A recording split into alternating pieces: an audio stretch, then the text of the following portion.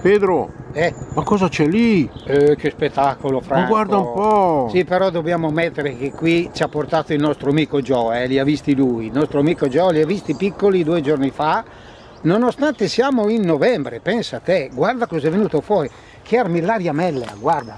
Questi qui stanno già per aprirsi, vedi? Però, però sono ancora belli bianchi, quindi sono buoni ancora. Ma quelli lì sono uno spettacolo.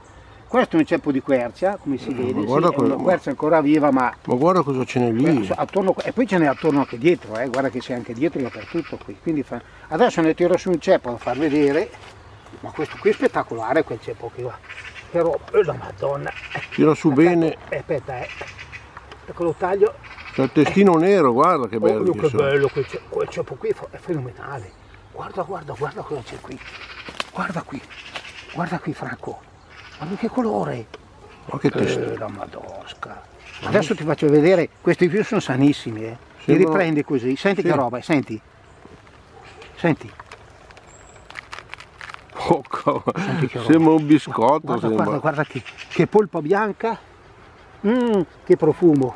Ecco, normalmente questi qui vanno bene cucinati e quelli grossi si potrebbero anche tagliare a metà. Però è ancora, ecco, così sono l'ideale Eh, da cavolo, mangiarli. ma Così che sono- guarda, che hanno. guarda che colore che hanno.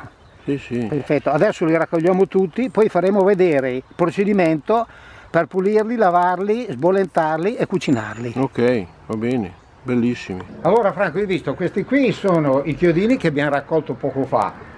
E, e sono venute fuori tre cassette, attorno a quel, a quel ceppo lì di, di quercia era veramente uno spettacolo. Guarda che roba, tre cassette piene. Adesso ti farò vedere, ne prenderò un ceppo per farti vedere come si puliscono, perché dovremo pulirli, lavarli, sbollentarli e poi mia moglie li cucinerà.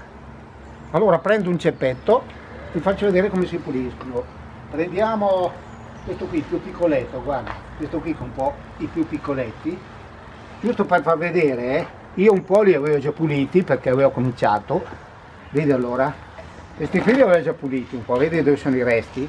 Quindi si prende il ceppo, si pulisce, si tira via il più, lo sporco maggiore, diciamo, ecco così, dopodiché si prende il ceppo bene, così, si giri sotto e si toglie tutta la parte con la terra, ma anche tagliando un bel pezzo di gambo.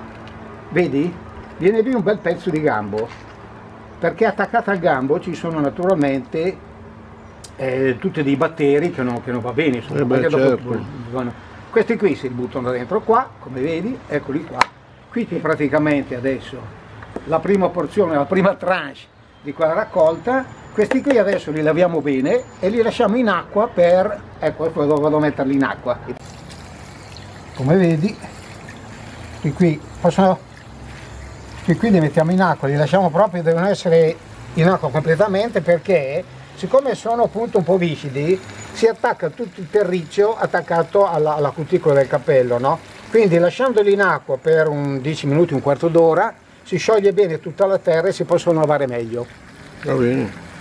Ecco allora, come abbiamo detto prima, questi sono stati lavati bene per un quarto d'ora così in acqua. Come vedi i più grossi li ha tagliati a metà, la nostra cuoca, mentre quegli altri insomma piccoletti con la misura qui si possono lasciare interi.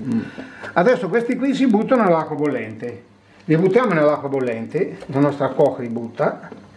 Ecco, l'acqua ce ne vuole poca, eh. addirittura qualcuno per fare questa operazione non gliene mette neanche di acqua, perché i, i funghi sono molto bagnati e si potrebbe anche far senza, però un pochettino è meglio. Ecco, adesso gli do una mano. Ce n'è qui, eh? Poca acqua. Sì, sì, poco, ma comunque ecco. Allora, qui adesso sembrano tanti tanti, ma quando dopo sono stati sbollentati, per quanto Ignese? Per quanto tempo? 3-4 minuti. 3-4 minuti, calano e si adagiano un po' e va buttata via l'acqua di bollitura. Vedi che stanno facendo tutta la, la schiuma? Ecco. Adesso stanno bollendo, comincia a fare la schiuma. Ancora un paio di minuti, poi li scoliamo. Ecco, così vengono praticamente dopo essere stati sbollentati e sciacquati bene, dopo si possono cucinare. Adesso vediamo gli ingredienti e come si cucinano. Eccolo. Allora, metti l'olio nel tegame, un po' d'olio in fondo e poi gli aggiungiamo gli, gli ingredienti, Guarda perché è già preparati nel piatto. Pomodoro, il dado, fogliolina di alloro, l'aglio, Guarda il bene. prezzemolo e un'acciughina. Un bel colore. Questi, ecco, ma tirali giù Agnese con questo coso, vanno messi dentro tutti, eh? Vanno fatti poi quanto tempo devono friggere lì deve fare? Un paio di minuti. Ecco un paio di minuti e poi qua dentro gli vanno buttati i chiodini che abbiamo lavato bene e vanno fatti cuocere tenendoli mescolati se no possono anche attaccare per 40 minuti anche un'ora dipende, dipende dai chiodini se sono grossi o piccoli. Ok Grazie alla cuoca Agnese e un bel servizio del nostro amico Pedroni.